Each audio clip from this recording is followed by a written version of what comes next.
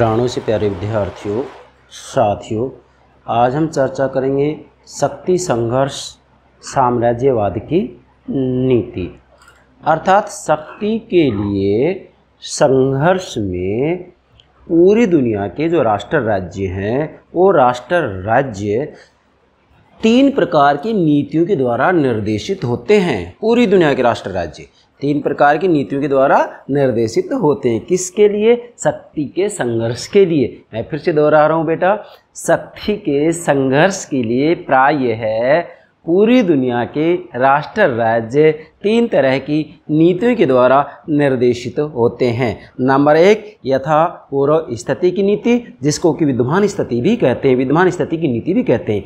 यथा पूर्व स्थिति की नीति, नंबर एक, जो कि मैंने आपको समझा दिया है। नंबर दो, प्रतिष्ठा की नीति, जो कि मैंने अपलोड कर दिया है। और आज तीसरी नीति की चर्चा कर रहे हैं, जो कि साम्राज्यवाद की नीति कहलाती है। ठीक है बेटा? तो क्या समझे आप इससे कि शक्ति के संघर्ष के लिए पूरी दुनिया के राष्ट्र राज्य तीन प्रकार की नीतियों से निर्देशित होते हैं। कोई राष्ट्र राज्य यथा स्थिति की नीति से निर्देशित होता है, कोई राष्ट्र राज्य प्रतिष्ठा की नीति से निर्देशित होता है और कोई राष्ट्र राज्य साम्राज्यवाद की नीति से निर्देशित होता है। जैसे आज की मैं बात करूँ तो देखिएगा बेटा, जैसे दूसरे विश्व युद्ध के बाद की शुरुआत करते हैं हम। दूसरे विश्व युद्ध के बाद में सोवियत संघ कहता है अमेरिका से कि तुम्हारी नीति साम्राज्यवाद की है। और अमेरिका सोवियत संघ से कह रहा था कि तुम्हारी नीति साम्राज्यवाद की है। भारत चीन से कह रहा है, तुम्हारी नीति साम्राज्यवाद की पाकिस्तान भारत से कह रहा है, तुम्हारी नीति साम्राज्यवाद की है। तो आखिर ये जो नीति है, साम्राज्यवाद की नीति, साम्राज्यवाद का अर्थ, परिभाषा इत्यादि जो है इसके लिए मैं अलग से लेक्चर अपलोड करूँगा कब? जबकि राष्ट्रीय शक्ति के अभिवृद्धि के साधनों को मैं क्रम से एक एक को समझाऊँगा। अभी मैंने राष्ट्रीय शक्ति के साधन एक साथ तो समझा दिए, लेकिन राष्ट्रीय शक्ति के जितने भी साधन हैं, उन सभी साधनों के ऊपर अलग से लेक्चर अपलोड करूँगा। उस समय साम्राज्यवाद या साम्राज्यवाद उपनिवेशवाद न उपनिवेशवाद ये सब भी राष्ट्रीय शक्ति की अभिवृद्धि के साधन है। तो इन सब पर भी मैं अलग से लेक्चर अपलोड करूँगा। आज तो हम केवल केवल केवल शक्ति संघर्ष के लिए जो राष्ट्र राज्य होती है, प्राय तीन नीतियों के द्वारा निर्देशित होते हैं, जिनमें से एक नीति साम्राज्यवाद की नीति भी होती है। दो नीति मैंने आपको बता दी है यथा परिस्थिति की नीति और प्रतिष्ठा की नीति। तो आज किसकी चर्चा करेंगे हम? साम्राज्यवाद की नीति। क्या? साम्राज्यवाद की नीति। लेक्चर नंबर इकतालीस पार्ट नंबर थ्री चलिए बेटा, अब इधर आइएगा, पहले डायग्राम समझेंगे, उसके बाद में सारी बातें क्लियर हो जाएँगी। सबसे पहले मैंने यहाँ नोट किया है, क्या? शक्ति के लिए संघर्ष में राष्ट्र प्राय, अब यहाँ राष्ट्र का मतलब पूरी दुनिया के सभी राष्ट्र राज्यों से। बेटा, अंतर्राष्ट्रीय राजनीतिक अभिनेता एक्टर कौन होता है? राष्ट्र राज्य होते हैं। जैसे आज हम देखेंगे यूएनओ के सदस्यों की संख्या एक तिरानवे है। ठीक है बेटा? कितनी है? एक सौ तिरानवे। तो एक सौ तिरानवे के एक सौ तिरानवे जो राष्ट्र राज्य है ना बेटा, ये अंतर्राष्ट्रीय राजनीति के एक्टर हैं, अभिनेता हैं। तो जो राष्ट्र राज्य वो एक्टर हो गया। तो फिर से शक्ति के लिए संघर्ष में राष्ट्र मतलब अंतर्राष्ट्रीय राजनीति का अभिनेता, राष्ट्र प्राय है, तीन तरह की नीतियों द्वारा निर्देशित होते हैं। अब ये तीन तरह की नीतियाँ कौन सी हैं? फिर से दोहरा रहा हूँ। यथा स्थिति की नीति जो कि मैंने आपको समझा दिया है। दूसरा, प्रतिष्ठा की नीति, इसको भी मैंने समझा दिया है। और तीसरा है, साम्राज्यवाद की नीति, जो कि आज बताएँगे। ठीक है, यहाँ तक? अब ये डायग्राम बताते हैं। बेटा, यहाँ मैंने लिखा है एरा मतलब अंतर्राष्ट्रीय राजनीति। देखो, अंतर्राष्ट्रीय राजनीति को आपको अच्छे से समझना है। अंतर्राष्ट्रीय राजनीति में शक्ति, संघर्ष को अच्छे से समझना है तो डायग्राम समझना नहीं आया ज़रूरी है। ये समझ जाएँगे तो अंतर्राष्ट्रीय राजनीति में शक्ति, संघर्ष को समझने में आपको कतई दिक्कत नहीं आएगी। अब ये मैं शुरू करूँ, उससे पहले एक सेंटेंस दोहरा रहा हूँ। अंतर्राष्ट्रीय राजनीति के विद्वान है हांस जे मार्गिन थाऊ। कौन है? हांस जे मार्गिन थाऊ।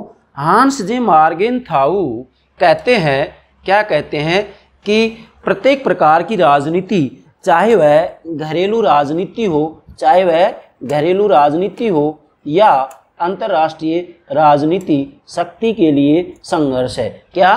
फिर से बोल रहा हूँ प्रत्येक प्रकार की राजनीति, चाहे वह घरेलू राजनीति हो, घरेलू राजनीति मतलब राष्ट्रीय राजनीति, चाहे घरेलू राजनीति हो या अंतर्राष्ट्रीय राजनीति हो, शक्ति के लिए संघर्ष है। तो यहाँ पर हम शक्ति संघर्ष को तो समझ रहे हैं।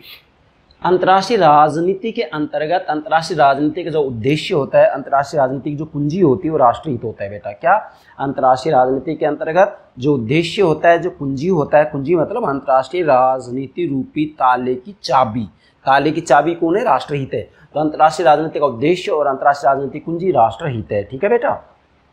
अंतर्राष्ट्रीय राजनीति की प्रक्रियाएँ दो रूपों में अभिव्यक्त होती है। अंतर्राष्ट्रीय राजनीति की प्रक्रिया दो रूपों में अभिव्यक्त होती है। पहली अंतर्राष्ट्रीय राजनीति की प्रक्रिया शक्ति संघर्ष के रूप में अभिव्यक्त होती है। सभी राष्ट्र राज्य अपने अपनी शक्ति वृद्धि का प्रयास करते हैं, अपने अपने राष्ट्रीय हितों की प्राप्ति के लिए। अपने अपने राष्ट्रीय हितों की पूर्ति के लिए शक्ति, वृद्धि का प्रयास करते हैं। जब सभी राष्ट्र आज ऐसा करते हैं तो शक्ति के लिए उनमें संघर्ष होता है, इसी को शक्ति संघर्ष कहा जाता है। पहली प्रक्रिया शक्ति संघर्ष है बेटा। और दूसरी जो प्रक्रिया है अंतर्राष्ट्रीय राजनीति की, वह विरोध समाधान। ये बात सत्य है कि राष्ट्र राज्यों में संघर्ष होता है राष्ट्रीय हितों को लेकर के, लेकिन राष्ट्र राज्यों में किसी भी समस्या विशेष को लेकर के उसका समाधान भी किया जाता है। संध्या भी होते हैं, समझौते भी होते हैं। इसलिए अंतर्राष्ट्रीय राजनीति की प्रक्रिया दो रूपों में अभिव्यक्त होती है, पहला शक्ति संघर्ष, दूसरा विरोध समाधान। ठीक है बेटा, आगे बढ़ते हैं। अब यहाँ शक्ति के लिए संघर्ष में, शक्ति के लिए संघर्ष में जो राष्ट्र, राज्य तीन तरह की नीतियों के द्वारा निर्देशित होते हैं, उसमें से तीसरी नीति आज लेंगे हम, साम्राज्यवाद की नीति। और साम्राज्यवाद की जो नीति होती है, इसका सीधा सा अर्थ होता है यथापूर्व नीति को पलटने की नीति। मतलब जो यथापूर्व स्थिति की नीति होती है जो यथास्थिति होती है, जो विद्यमान स्थिति होती है, उसको परिवर्तित करना, उसको पलटने की जो नीति होती है, वो साम्राज्यवाद की नीति कहलाती है। इस नीति के अंतर्गत एक राष्ट्र राज्य के द्वारा अपना जो है सीमाओं का विस्तार करने का प्रयास किया जाता है। किसका? सीमाओं को विस्तार करने का प्रयास किया जाता है। जैसे हिटलर और मुसोलिनी ने इसका प्रयोग किया है, नेपोलियन बोनापार्ट ने इसका प्रयोग किया। चीन की जो विदेश नीति आज वो भी आक्रामक विदेश नीति, साम्राज्यवाद की नीति के अंतर्गत ही आती है। सोवियत संघ और अमेरिका एक दूसरे को आरोप लगा ही रहे हैं कि वो कहता है वो साम्राज्यवाद, वो कहता है वो साम्राज्यवाद नीति अपनाता है। पाकिस्तान, भारत के बारे में कहता है कि भारत की विदेश नीति भी जो है साम्राज्यवाद की नीति है। अब इस तरीके से यदि हम एग्ज़ाम्पल दें तो वास्तविक रूप में एक राष्ट्र दूसरे राष्ट्र राज्य को इस दृष्टि से देखता है कि भाई इसकी नीति साम्राज्यवादी नीति है। बाकी भारत की जो विदेश नीति है, वह कभी भी साम्राज्यवादी नीति पर आधारित नहीं होती है। भारत की विदेश नीति प्रतिष्ठा की नीति पर आधारित होती है। चलिए बेटा, ये बात क्लियर हो गई, अब इधर आइएगा। अंतर्राष्ट्रीय राजनीति के अंतर्गत जो शक्ति होती है, वह शक्ति, साध्य और साधन दोनों होती है। अंतर्राष्ट्रीय राजनीति में शक्ति, साध्य और साधन दोनों होती है। जब एक राष्ट्र राज्य के द्वारा अपने राष्ट्रीय हितों की पूर्ति के लिए शक्ति वृद्धि का प्रयास किया जाता है लगातार तो शक्ति साध्य बन जाती है। और जब एक राष्ट्र राज्य के द्वारा अपने राष्ट्रीय हितों की रक्षा के लिए शक्ति का व्यवहार में प्रयोग किया जाता है तो ऐसी स्थिति में शक्ति साधन बन जाती है। क्लियर अब देखिएगा बेटा अब थोड़ा नीचे आइए इधर। यहाँ मैंने लिखा है प्राप्ति। मतलब जब कोई भी देश, जब कोई भी देश, कोई भी राष्ट्र राज्य कोई भी राष्ट्र राज्य अपने राष्ट्रीय हितों की प्राप्ति के लिए, राष्ट्रीय हितों की प्राप्ति के लिए जो कार्य योजना तय करता है, जो सिद्धांत तय करता है, वह कार्य योजना सिद्धांत ही विदेश नीति कहलाता है। क्या कहलाता है? विदेश नीति कहलाता है। और वास्तविक रूप में विदेश नीति का जो प्राण तत्व होता है, वो राष्ट्रहित होता है। नोट करेंगे, विदेश नीति का प्राण त्रा मतलब प्राण। विदेश वी मतलब विदेश नीति प्रा मतलब प्राण। विदेश नीति का प्राण तत्व राष्ट्रहित होता है। क्या? राष्ट्रहित होता है। फिर से बोल रहा हूँ मैं यहाँ, फिर से दोहरा रहा हूँ। विदेश नीति का प्राण तत्व राष्ट्रहित होता है, इसलिए सभी राष्ट्र राज्य अपने राष्ट्रीय हितों की पूर्ति के लिए जो कार्य योजना तय करते हुए कार्य योजना ही विदेश नीति कहलाती है और विदेश नीति का प्राण तत्व राष्ट्रहित होता है। कोई भी राष्ट्र राज्य ऐसा नहीं जो अपने राष्ट्रीय हितों को नजरअंदाज करेगा, इसलिए अंतर्राष्ट्रीय राजनीति का उद्देश्य अंतर्राष्ट्रीय राजनीति की कुंजी, चाबी राष्ट्रहित ही तो होता है बेटा। यस, अब हम यहाँ ध्यान दें तीन प्रकार की विदेश नीतियाँ होती है, अर्थात शक्ति संघर्ष के रूप में, शक्ति संघर्ष के रूप में पूरी दुनिया में तीन प्रकार की विदेश नीतियाँ होती हैं। जैसा कि हांसी मार्गेंता कहते हैं, हर राजनीति, चाहे वह गृह राजनीति हो, गृह राजनीति का मतलब घरेलू राजनीति या राष्ट्रीय राजनीति। चाहे गृह राजनीति हो अथवा अंतर्राष्ट्रीय राजनीति, उसके तीन आधारभूत रूप हैं। नंबर एक, शक्ति के स्थायी रूप को बनाए रखना, जिसे यथापूर्व स्थिति की नीति कहते हैं। शक्ति वृद्धि का प्रयास करना, जिसको कि साम्राज्यवादी की नीति कहते हैं और शक्ति का प्रदर्शन करना जिसको की प्रतिष्ठा की नीति कहते हैं। जिसको की प्रतिष्ठा की नीति कहते हैं। प्रतिष्ठा की नीति, क्या प्रतिष्ठा की नीति और यथापूर्व स्थिति की नीति, ये दोनों मैंने समझा दी है। आज हम वृद्धि की बात कर रहे हैं। मतलब शक्ति वृद्धि की जो अभिव्यक्ति होती है, वह साम्राज्यवाद की नीति में होती है। शक्ति वृद्धि की जो अभिव्यक्ति होती है वह साम्राज्यवाद की नीति में होती है तो आज हम वृद्धि अर्थात साम्राज्यवाद की नीति की चर्चा करेंगे। अब जैसे मैंने यह प्रारंभ बता दिया है, अमेरिका, सोवियत संघ, चीन, इधर पाकिस्तान, भारत। इसका क्या मतलब है? बेटा, अमेरिका सोवियत संघ की नीति को कहता है कि आपकी नीति साम्राज्यवादी नीति है, क्योंकि सोवियत संघ साम्राज्य विचारधारा का प्रचार कर रहा है। दूसरी तरफ़ सोवियत संघ भी कह रहा है कि अमेरिका की नीति जो है साम्राज्यवादी, क्यों? क्योंकि अमेरिका पूंजीवादी विचारधारा का प्रचार प्रसार कर रहा है। क्लियर? इधर आइए, भारत, चीन की विदेशी नीति को साम्राज्यवादी नीति कहता है और पाकिस्तान भारत की नीति को साम्राज्यवादी नीति कहता है। अब देखना हमें ये है कि वास्तविक रूप में किस देश की विदेश नीति साम्राज्यवाद पर आधारित है या नहीं है। ये अंतर्राष्ट्रीय राजनीतिक विद्यार्थी को विश्लेषण करना है, ठीक है बेटा? चलिए, अब यहाँ पर मूल बात आती है, क्या शक्ति संघर्ष शक्ति संघर्ष के लिए राष्ट्र में प्राय या राष्ट्र राज्य प्राय तीन तरह की नीतियों द्वारा निर्देशित होते हैं। नोट करें इसको, यहाँ पर भी नोट करेंगे। शक्ति के लिए संघर्ष में राष्ट्र प्राय तीन तरह की नीतियों के द्वारा निर्देशित होते हैं, जिसमें दो नीतियाँ मैंने आपको बता दी यथापूर्व स्थिति की नीति, प्रतिष्ठा की नीति। आज हम लोग तीसरी नीति, कौन सी है साम्राज्यवाद की नीति। चलिए। सबसे पहले मैंने यहाँ नोट किया है, शक्ति, संघर्ष, साम्राज्यवाद की नीति। मतलब शक्ति संघर्ष के लिए या शक्ति के लिए संघर्ष में, शक्ति के लिए संघर्ष में राष्ट्र प्राय तीन तरह की नीति द्वारा निर्देशित होते हैं, जिसमें तीसरी नीति है साम्राज्यवाद की नीति। अब ये साम्राज्यवाद की नीति है क्या? पहले तो ये समझे बेटा। यथापूर्व स्थिति को पलटने की नीति, यथापूर्व स्थिति को पलटने की नीति, साम्राज्यवाद की नीति है साम्राज्यवादी नीति है? फिर से दोहरा रही यथापूर्व स्थिति को पलटने की नीति पलटने की नीति यहाँ मैंने रिपीट कर दिया है। यथापूर्व स्थिति को पलटने की नीति मतलब जो विद्यमान स्थिति, उसको पलटने की नीति और उस विद्यमान स्थिति को जो पलटने की नीति है, वही साम्राज्यवादी नीति है। तो आप चाहें तो इसको एक बार नोट कर सकते हैं क्या? यथापूर्व स्थिति को पलटने की नीति साम्राज्यवादी नीति कहलाती क्योंकि दो बार मैंने यहाँ इसलिए रिपीट किया है कि भाई यथापूर्व स्थिति को पलटने की जो नीति होती है, पलटने की जो नीति होती है और जो पलटने की नीति होती है, वह विद्यमान स्थिति को पलटने की नीति होती है। इसलिए मैंने इसका दो बार प्रयोग किया है, लेकिन हो सकता है आप इससे भ्रमित हो जाएँ तो आप इसको क्रॉस कर सकते हैं और ऐसा सीधा ही लिख लेंगे आप क्या यथापूर्व स्थिति को पलटने की नीति, साम्राज्यवादी नीति कहलाती है। फिर से दोहरा रहा हूँ। यथापूर्व स्थिति को पलटने की नीति साम्राज्यवादी नीति कहलाती है। मतलब जब एक राष्ट्र राज्य के द्वारा अपनी विद्यमान स्थिति को पलटने का प्रयास किया जाता है, अपनी विद्यमान स्थिति को, अपनी प्रचलित स्थिति को परिवर्तित करने का प्रयास किया जाता है तो ऐसी नीति साम्राज्यवाद की नीति कहलाती है, ठीक है? जैसे एग्ज़ाम्पल दे रहा हूँ मैं, जैसे फॉर एग्ज़ाम्पल ऑस्ट्रिया एक राष्ट्र राज्य ऑस्ट्रिया और प्रेसा। ये एग्ज़ाम्पल दे रहा हूँ पुराना उदाहरण। जैसे ऑस्ट्रिया और प्रेसा, दोनों राष्ट्र राज्य देश है।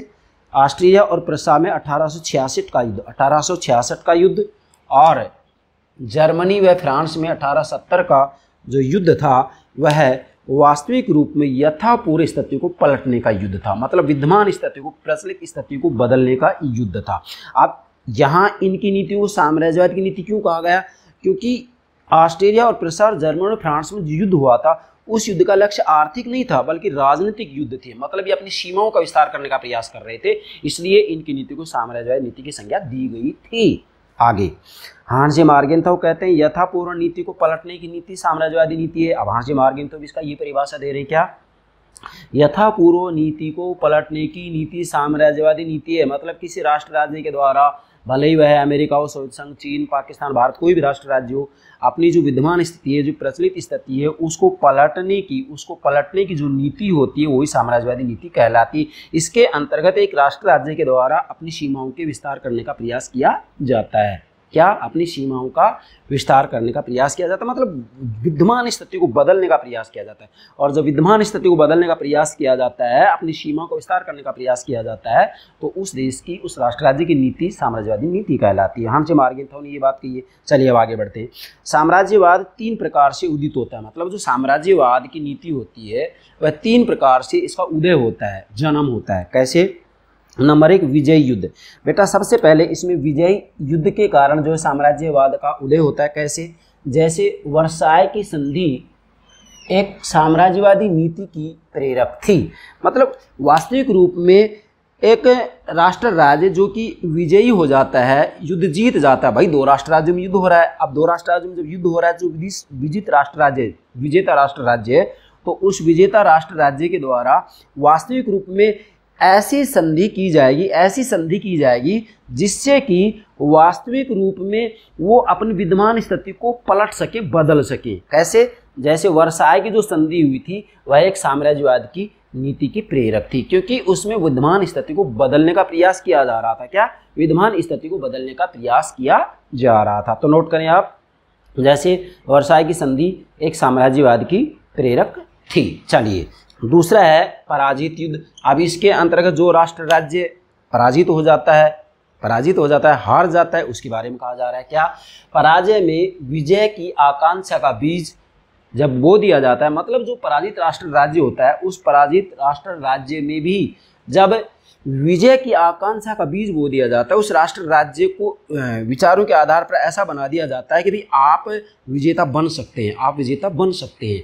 तो पराजय में विजय की आकांक्षा का बीज जब बो दिया जाता है तो इससे भी साम्राज्यवाद की नीति का जन्म होता है। ये पराजित राष्ट्र राज्य के द्वारा, जैसे 1919 से जर्मनी की नीति। मतलब 1919 के बाद में जो जर्मनी की नीति थी, जर्मनी हालाँकि प्रथम विश्व युद्ध के अंतर्गत पराजित हो गया, लेकिन उसके बाद में इसके अंतर्गत जो है विजय की आकांक्षा के बीज बो दिए गए और उसके बाद में जर्मनी ने ये भरसक प्रयास किया, क्या कि जो हमारी विद्यमान स्थिति है, इसको हम परिवर्तित कर सकते हैं। जब एक पराजित राष्ट्र राज्य के द्वारा ऐसा किया जाता है तो उसको पराजित युद्ध की संज्ञा दी जाती है। तीसरा है कमज़ोरी। कमज़ोरी मतलब जो कमज़ोर राष्ट्र राज्य होता है, दुर्बल राष्ट्र राज्य होता है। यहाँ पर तो विजेता राष्ट्र राज्य होगा, यहाँ पर जो पराजित राष्ट्र राज्य होगा और यहाँ पर कमज़ोर राष्ट्र राज्य होगा। तीन हो गए ना? कमज़ोरी मतलब अन्य कारण कमज़ोर राज्य है। अर्थात साम्राज्यवाद की नीति का जो तीसरा प्रेरक कारण है, वह है कमज़ोरी या एक दुर्बलता किसी भी राष्ट्र राज्य की। तो अन्य कारण कमज़ोर राज्य है या शक्ति शून्यता की स्थिति भी इसको कह सकते हैं, या शक्ति शून्यता की स्थिति भी इसको कह सकते हैं। शक्ति शून्यता क्या है? इसके ऊपर मैंने लेक्चर अपलोड कर दिया है। आप लिस्ट में देख सकते हैं अंतर्राष्ट्रीय राजनीति में। अन्य कारण, कमज़ोर राष्ट्र राज्य हैं। यह शक्तिशाली राज्य के लिए आकर्षण है। मतलब ये एक शक्तिशाली जो राष्ट्र राज्य है तो उसके लिए आकर्षण है। क्या आकर्षण है? कि जो कमज़ोर राष्ट्र राज्य है, जो कमज़ोर राष्ट्र राज्य उसकी सीमाओं को वह अपने कब्जे में कर सकता है, अपना प्रभुत्व वहाँ स्थापित कर सकता है, अपना प्रभुत्व वहाँ स्थापित कर सकता है तो प्रभुत्व स्थापित करना ही साम्राज्यवाद की नीति है। चलिए, यह शक्तिशाली राज्य के लिए आकर्षण है। जैसे जैसे नेपोलियन तथा हिटलर के साम्राज्यवाद इसी चरित्र के थे। मतलब जैसे नेपोलियन ने तथा हिटलर ने जो साम्राज्यवादी नीति अपनाई थी, नेपोलियन तथा हिटलर के साम्राज्यवादी, क्या? साम्राज्यवादी सिद्धांत यही चरित्र के थे। किस चरित्र के थे? कि भाई जो कमज़ोर राष्ट्र राज्य हैं, उनके ऊपर हम प्रभुत्व स्थापित कर सकते हैं। इसका नेपोलियन और हिटलर के द्वारा इस नीति का प्रयोग किया गया था। अब नेक्स्ट बात आती है, साम्राज्यवाद के तीन लक्ष्य हैं। अब साम्राज्यवाद के तीन लक्ष्य कौन कौन से हैं? मतलब साम्राज्यवाद नीति के तीन लक्ष्य क्या क्या हैं? देखिएगा, पहला है स्थानीय साम्राज्यवाद दूसरा है महाद्वीपीय साम्राज्यवाद और तीसरा है विश्व साम्राज्यवाद। आपसे एग्ज़ाम पूछा जा सकता है कि साम्राज्यवाद के कितने लक्ष्य होते हैं तो आपका आंसर होगा तीन लक्ष्य। पहला है स्थानीय साम्राज्यवाद। स्थानीय साम्राज्यवाद का मतलब क्या होता है? ये स्थानीय साम्राज्यवाद में कोई भी राष्ट्र स्थानीय क्षेत्र में प्रभुत्व स्थापित करने का प्रयास करता है। नोट करें स्थानीय साम्राज्यवाद के अंतर्गत एक राष्ट्र राज्य के द्वारा, नोट करें आप, स्थानीय साम्राज्यवाद के अंतर्गत एक राष्ट्र राज्य के द्वारा स्थानीय क्षेत्र में प्रभुत्व स्थापित करने का प्रयास किया जाता है। स्थानीय क्षेत्र में जो प्रभुत्व स्थापित करने का प्रयास किया जाता है, उसे ही साधारण शब्दों में स्थानीय साम्राज्यवाद की संज्ञा दी जाती है। फॉर एग्ज़ाम्पल जैसे बिस्मार्क ने मध्य यूरोप में, मध्य यूरोप में ये चाहा, क्या चाहा कि जर्मनी का प्रभुत्व स्थापित हो। किसका प्रभुत्व स्थापित हो? जर्मनी का प्रभुत्व स्थापित हो। लेकिन केवल कहाँ? मध्य यूरोप में, केवल मध्य यूरोप में। इसलिए इसको स्थानीय साम्राज्यवाद कहा जाता है, ठीक है? दूसरा है महाद्वीपीय साम्राज्यवाद। बेटा, महाद्वीपीय साम्राज्यवाद का मतलब होता है, नोट करिए आप, महाद्वीपीय साम्राज्य का मतलब होता है क्या? कि यहाँ अपने द्वीप विशेष में, अपने द्वीप में ही, अपने द्वीप में ही साम्राज्यवाद की स्थापना करना है। जैसे विलियम ने पूरे यूरोप में प्रभुत्व स्थापित करना चाहता था। मतलब जो विलियम है, विलियम, राजा विलियम विलियम पूरे यूरोप में प्रभुत्व स्थापित करना चाहता था। केवल यूरोप यूरोप में, केवल पूरे यूरोप में प्रभुत्व स्थापित करना चाहता था। तो पूरे यूरोप में जो प्रभुत्व स्थापित करना चाह रहा है, इसको महाद्वीपीय साम्राज्यवाद की संज्ञा दी जाती है। यस, दो तीसरा है विश्व साम्राज्यवाद। नाम से स्पष्ट हो रहा पूरी दुनिया में साम्राज्य की स्थापना करना। विश्व साम्राज्यवाद। तो ध्यान दें, जब किसी राष्ट्र राज्य के द्वारा पूरी दुनिया में अपना साम्राज्य स्थापित करने का प्रयास किया जाता है तो उसे विश्व साम्राज्यवाद की संज्ञा दी जाती है। जैसे हिटलर संपूर्ण जगत में प्रभुत्व स्थापित करना चाहता था। मतलब हिटलर पूरी दुनिया में अपना प्रभुत्व स्थापित करना चाहता था। हिटलर के द्वारा पूरी दुनिया में जो प्रभुत्व स्थापित करने का प्रयास किया गया था, इसी को विश्व साम्राज्यवाद की संज्ञा दी जाती है। तो ये हो गए साम्राज्यवाद के तीन लक्ष्य।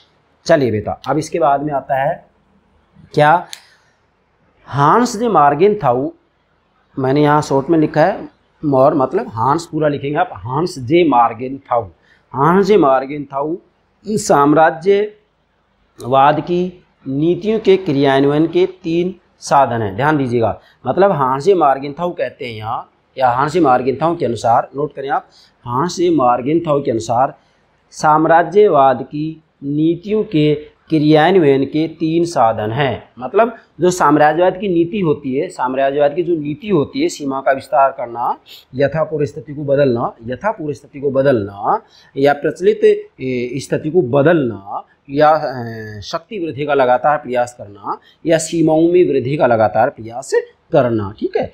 तो साम्राज्यवादी नीतियों के क्रियान्वयन के तीन साधन हैं। क्या मतलब हुआ? कि साम्राज्यवाद की जो नीति होती है, उसको संचालित करने के तीन साधन हैं। उसको संचालित कैसे किया जाएगा साम्राज्यवाद की नीति को? इसके तीन साधन हैं। नंबर एक, सैनिक साम्राज्यवाद। नंबर दो, आर्थिक साम्राज्यवाद। नंबर तीन, सांस्कृतिक साम्राज्यवाद। जरा समझिए।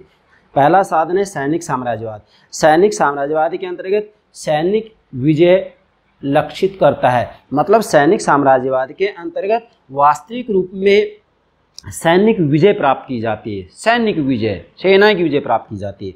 आर्थिक साम्राज्यवाद के अंतर्गत, नोट करें, आर्थिक साम्राज्यवाद के अंतर्गत एक राष्ट्र राज्य के द्वारा दूसरे राष्ट्र राज्य का आर्थिक शोषण किया जाता है। आर्थिक शोषण किया जाता है, जिसको कि आज नव उपनिवेशवाद की संज्ञा दी जाती है। नव उपनिवेशवाद की संज्ञा दी जाती है आज, आधुनिक समय, समकालीन समय में। तीसरा है सांस्कृतिक साम्राज्यवाद। सांस्कृतिक साम्राज्यवाद में क्या होता है कि एक संस्कृति का दूसरी द्वारा हटाया जाना मतलब एक राष्ट्र एक राष्ट्र राज्य के द्वारा, एक राष्ट्र राज्य के द्वारा दूसरे राष्ट्र राज्य में वहाँ की संस्कृति को हटाना और अपनी संस्कृति का प्रभुत्व स्थापित करना, ये जो है सांस्कृतिक साम्राज्यवाद कहलाता है। ठीक है बेटा? इसके बाद में, अंत में मैंने यहाँ लिखा है क्या? कि भले ही साम्राज्यवाद की नीतियों के क्रियान्वयन के तीन साधन हैं, तीन साधन हैं। लेकिन इन तीनों साधनों का लक्ष्य एक ही है। नोट करें, यहाँ मैंने लिख भी दिया है। इन तीनों साधनों का लक्ष्य एक ही है और वह लक्ष्य है, नोट करें आप, लक्ष्य है, लक्ष्य केवल एक ही, मैंने यहाँ संकेत भी कर दिया ना ये, इधर से मतलब इन तीनों साधनों का, सैनिक साम्राज्यवाद, आर्थिक साम्राज्यवाद, सांस्कृतिक साम्राज्यवाद का लक्ष्य एक ही है। लक्ष्य लक्ष्य एक ही है। आप इसी तरीके से नोट करेंगे, इधर इधर ये डायग्राम बना लेंगे। ये इस निशान संकेत कर लेंगे, इधर आ जाएँगे। मतलब सैनिक साम्राज्यवाद, आर्थिक साम्राज्यवाद और सांस्कृतिक साम्राज्य, इन तीनों ही साम्राज्यवाद का लक्ष्य एक ही है और लक्ष्य क्या है? यथापूर्व स्थिति को पलट देना होता है। मतलब इन तीनों ही साधनों का साम्राज्यवाद की, क्या? साम्राज्यवाद की नीतियों के क्रियान्वयन के जो तीन साधन है, इन तीन साधनों का एक ही लक्ष्य है और वह लक्ष्य है यथापूर्व स्थिति को पलट देना। यथा स्थिति को पलट देना, विद्वान स्थिति को पलट देना, शक्ति वृद्धि का प्रयास करना, सीमाओं का विस्तार करना। मतलब इन तीनों साधनों का लक्ष्य एक ही है, यथा पूर्व स्थिति को पलट देना। तो आप नोट करेंगे, इन तीनों ही साम्राज्यवाद की नीतियों के जो ये साधन हैं मतलब साम्राज्यवाद की नीतियों के क्रियान्वयन के जो तीन साधन इन तीनों साधनों का ही लक्ष्य एक होता है। इन तीनों ही साधनों का लक्ष्य क्या है? यथा पूरे स्थिति को पलट देना होता है। क्या लक्ष्य होता है? यथा पूरे स्थिति को पलट देना होता है। आपसे पूछ लिया जाए। कि साम्राज्यवाद की नीति की क्रियान्वयन के जो तीन साधन है, उन तीनों साधनों का ही निम्न में से कौन सा एक लक्ष्य है? आपको चार विकल्प दे दी जाएँगे तो आपका आंसर क्या होगा? यथा पूरे स्थिति को पलट देना होता है। इनका लक्ष्य क्या होता है? यथा पूरे स्थिति को पलट देना होता है। नोट करें, लक्ष्य है लक्ष्य है इन तीनों का यथापूर्व स्थिति को पलट देना होता है। मतलब विद्यमान स्थिति को पलटना होता है। अब आप देखेंगे, सैनिक साम्राज्य में विद्यमान स्थिति को पलटा जा रहा है क्योंकि सैनिक विजय प्राप्त की जा रही है। आर्थिक साम्राज्यवाद में भी वर्तमान स्थिति को बदलने का प्रयास किया जा रहा है यथा स्थिति को बदलने का प्रयास किया जा रहा है, क्योंकि दूसरे राष्ट्र राज्य का शोषण किया जा रहा है अपनी अर्थव्यवस्था को मज़बूत किया जा रहा है तो अर्थव्यवस्था को सुदृढ़ किया जा रहा है यहाँ पर।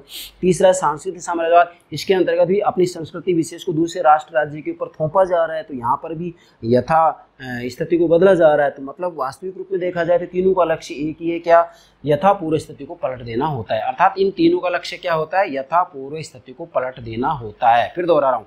इन तीनों का लक्ष्य क्या होता है? यथा पूर्व स्थिति को पलट देना होता है। ये हो गया शक्ति संघर्ष की साम्राज्यवाद की नीति। तो आज आपका शक्ति संघर्ष मतलब राष्ट्र राज्य में शक्ति के लिए जो संघर्ष होता है तो पूरी दुनिया के जो राष्ट्र राज्य होते हैं, तीन तरह की, तीन तरह की नीतियों के द्वारा निर्देशित होते हैं। यथापूर्व स्थिति की नीति, प्रतिष्ठा की नीति और साम्राज्यवाद की नीति। तो ये तीनों की तीनों नीतियाँ मैंने आपको अच्छे से समझा दी हैं। मुझे पूरा विश्वास है। आप शक्ति संघर्ष के संदर्भ में जो तीन प्रकार की विदेश नीतियाँ होती हैं, उन तीनों प्रकार की विदेश नीतियों को अच्छे से समझ गए होंगे। यस बेटा, okay thank you very much thank you very much